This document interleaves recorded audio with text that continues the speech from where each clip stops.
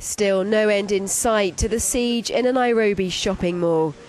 Kenyan security forces have surrounded the centre and armed gunmen are still inside.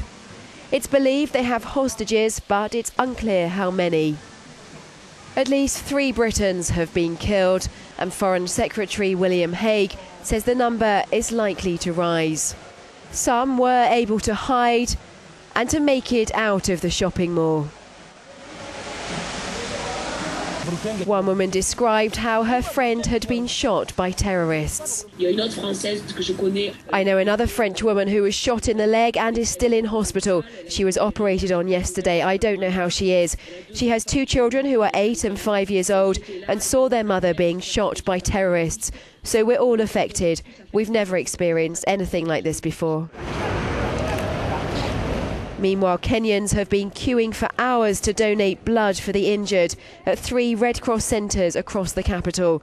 The need for blood is rising as the casualty list grows.